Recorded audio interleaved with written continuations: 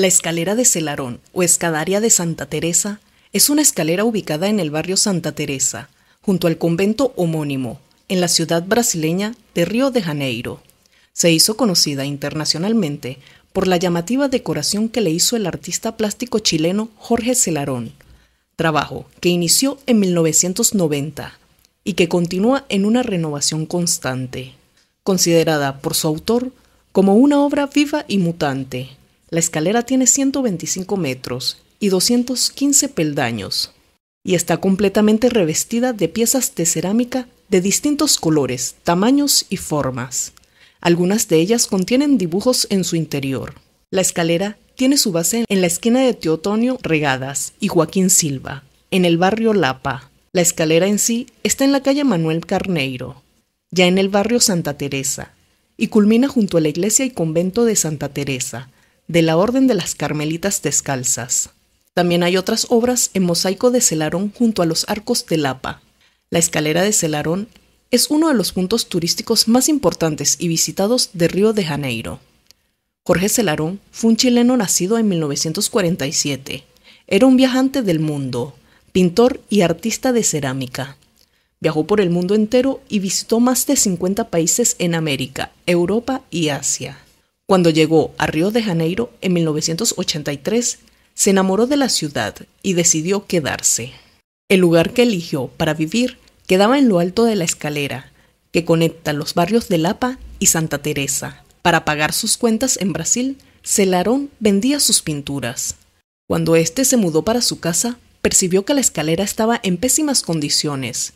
Nadie cuidaba de ella. En 1990, comenzó a renovar algunos escalones de su casa. Al principio colocó azulejos azules, amarillos y verdes, colores de la bandera brasileña, como un tributo para los brasileños y para el equipo brasileño de fútbol de la Copa Mundial de la FIFA en 1994. El proyecto comenzó como un hobby, pero poco a poco el proyecto se transformó en una adicción para Celarón.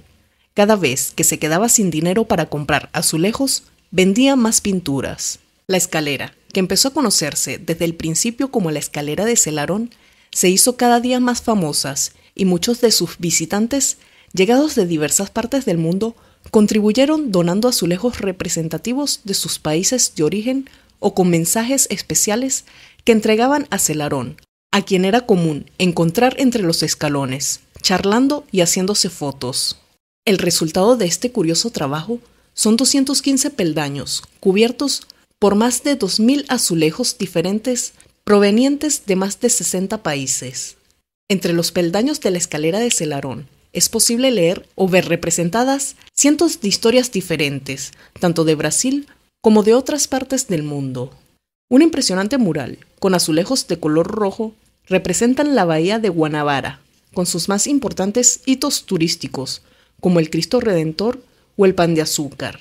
Y en la parte superior puede leerse la frase Brasil eu te amo, Celarón. Unos pasos más adelante, otro panel narra con un sentido del humor algo sarcástico, como es la vida en las favelas de Río, mientras que en la parte más alta, en uno de los muros laterales, los azulejos dan forma a una enorme bandera brasileña. La fama de la escalera de Celarón es tal que se le reconoce como símbolo de la ciudad y ha aparecido en artículos periodísticos, en revistas como National Geographic, en programas de televisión de varios países, anuncios publicitarios y videoclips de música de bandas tan conocidas como YouTube.